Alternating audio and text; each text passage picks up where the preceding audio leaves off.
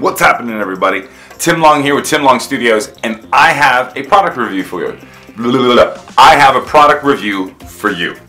So I recently uh, went ahead and did a giveaway with a friend of mine on Instagram. His name is Oliver Morris. You should go check him out. He's got one of the coolest uh, desk setups that I had ever seen and so I followed him and entered his giveaway and I was one of the lucky recipients of that giveaway. He partnered with a company called Orico Technologies and Orico, they make a ton of different really incredible um, is it peripheral products, USB hubs, data transfer center. Like they, they, they have a lot of stuff on their uh, on their website that you should totally check out. Orico.cc forward slash US. But I was specifically entered into this giveaway because I needed a USB-C dock for my uh, desk setup. I needed something that was going to expand my peripherals.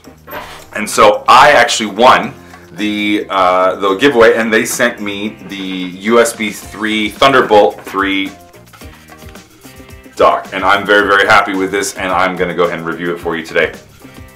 So the first thing you'll notice about this is that it comes in this really wonderful uh, aluminum enclosure, and I did end up getting another dock from a different company, and one of the things that I will say about that dock is that it does get a little bit hotter versus this is a really, like even now it's very, very cold to the touch, really wonderful aluminum come all around it and uh, it's just a really good build overall and it's not huge like this is like this is a nice little you know almost like a little book.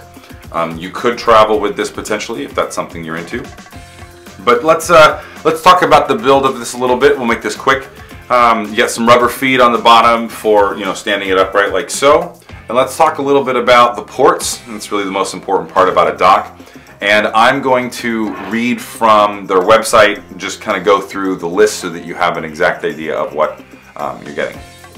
So on the very top, we have a green indicator light, followed by a 3.5 millimeter stereo headset jack. You have your standard SD and micro SD card slots. So at the top, you have two 10 gigabit type C ports.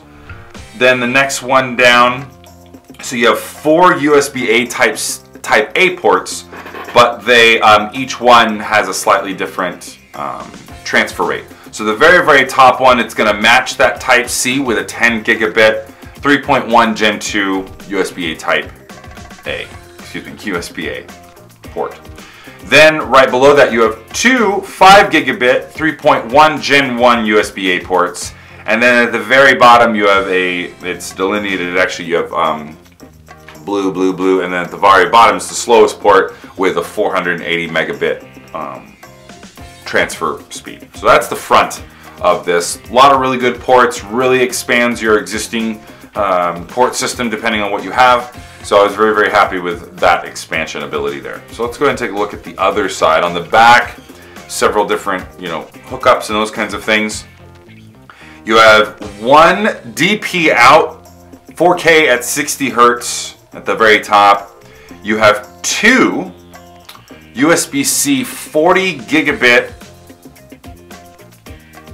ports. Now, mind you though, um, each one of these ports, one port provides up to 60 watt power delivery and the other one provides up to 15 watts. So um, there's a little bit of uh, wattage difference there if you're gonna use this for power in that regards. You have uh, you have another USB-A port. It's a 480 megabit, so it's a USB 2.0, so it's a little slower. You have a DC charge for specialized charging here in the back and an optical out. You have a gigabit interface if you're still into throwing in that RJ45. And then they send along a nice little 60 watt charging bank.